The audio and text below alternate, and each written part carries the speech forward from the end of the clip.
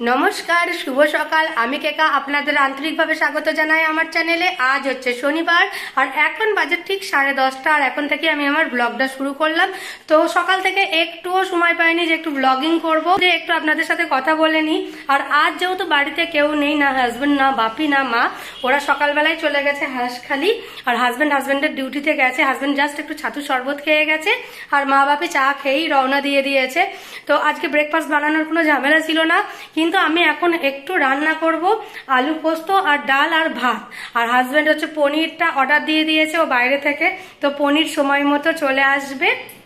আর আজ যেহেতু হাজব্যান্ডের পুরী যাওয়া আছে, তো সেই জন্য আরও বেশি চাপ আছে, ও দুটো ট্রেন ধরবে, তো তার আগেই যেটুকু রান্না করার করে ফেলতে হবে, ওমের খাবারও আমাকে বানিয়ে ফেলতে হবে।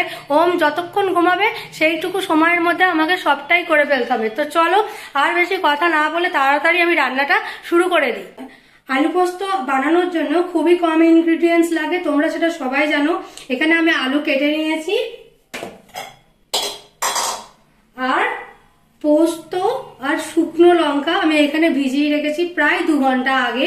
তো ভিজিয়ে রাখলে পোস্তটা পেস্ট করা খুব সুবিধা হয়, ওই জন্যই এটা ভিজিয়ে রাখা। আর আর লাগবে হচ্ছে সর্ষের তেল। ব্যাস, এইটুকুতেই আলু পোস্ত রান্না আমার কমপ্লিট হয়ে যাবে।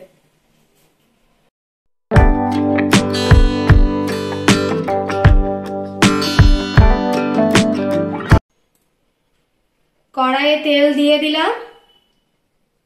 তেল গরম হয়ে গেছে, দিয়ে দেবো শুকনো লঙ্কা আর কালো জিরে ফোড়ন। এই অবস্থায় আলুগুলো দিয়ে দেবো।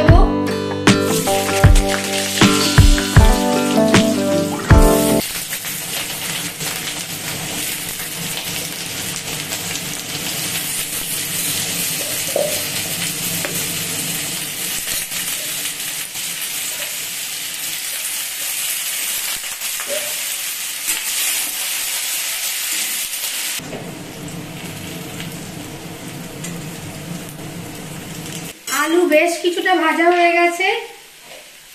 এবার পরিমাণ মতো নুন দিয়ে দিলাম।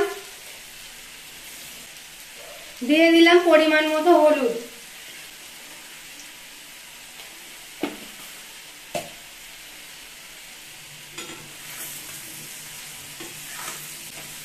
এরপরে তিন মিনিট এইভাবেই আমি ভাজতে থাকব। আলু ভাজা কমপ্লিট। এবার দিয়ে দেব গরম জল।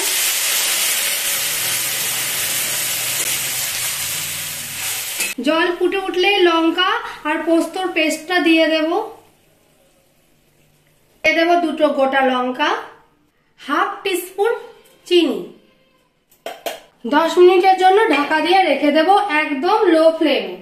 দশ মিনিট হয়ে গেছে, ঢাকনা খুলে দেখি কি অবস্থা।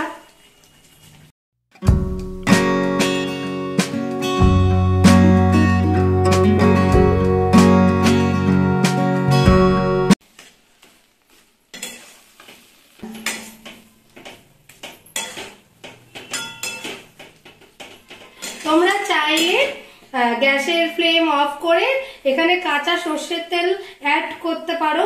কিন্তু আমি এখানে দেব না কাঁচা সর্ষের তেল।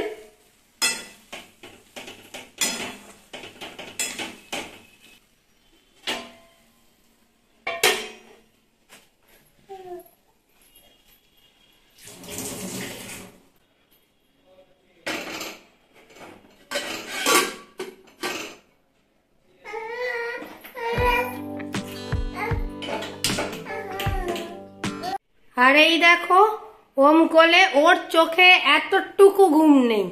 আজ ওর একটু ঘুমানোর প্রয়োজন, ও ঘুমোলে তবে তো আমি সমস্ত কাজকর্ম করব ঠিকঠাক ভাবে তো ওর চোখে এতটুকু ঘুম নেই।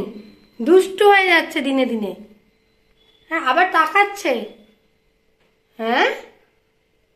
বলো, কি বলবে ওকে? আসছি আমি, জয় জগন্নাথ। তোমরা ভালো থেকো।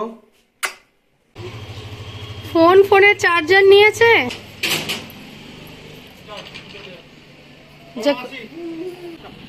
টাটা।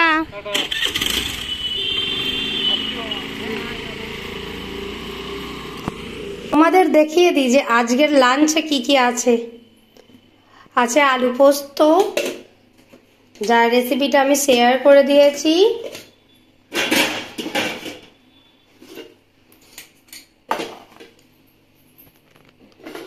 আছে ডাল, টমেটো দিয়ে নিরামিষ ডাল।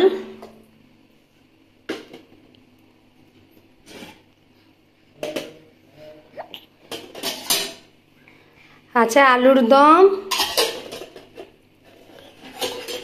আর আছে পনিরের, পনির মাখানি।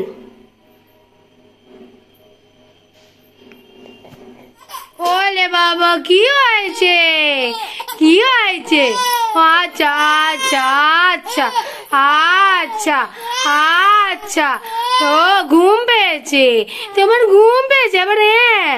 ওলে বাবা হিসু করেছ নাকি? ওলে বাবালে ওলে বাবালে ও আমার সোনা রে ও আমার সোনা রে। অনেকক্ষণ জার্নি করার পরে চলে এসেছি কল্যাণদার ফ্ল্যাটে দমদমে ফ্ল্যাট।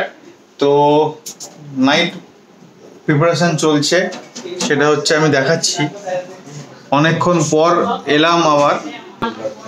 কল্যাণদা করছে ভাই এটা আমার চলছে। ভাই চলছে। টাকা করে দাও টাকা করে দাও। টাকা করে দাও। এটা চিকেন তন্দুরি হচ্ছে। Homemade homemade chicken tandoori. কল্যাণদার specialist special recipe নিজেই বানাচ্ছে। অনেক ট্যালেন্ট আছে। এটা আমার। বারাসাতের ভাই আছে।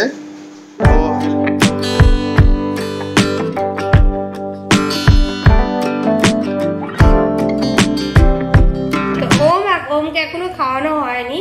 আর খাই মানে খাওয়ানো হয়নি বলে বলতে ওকে সাড়ে সাতটায় আমি একবার খাইয়েছি। তো ডিনার যেটা সেটা ওর এখনও হয়নি। দেবো খানিকক্ষণ পরই ওকে ডিনারটা করিয়ে দেবো। আর মা বাপি হাঁসকারি থেকে চলে এসেছে, আগে বাপি এসেছে, তারপরে মা এসেছে।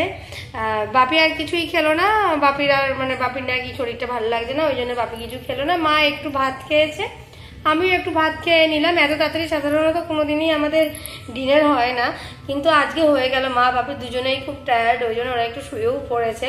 আর আমার শোয়া কখন হবে সেটা বলতে পারছি না।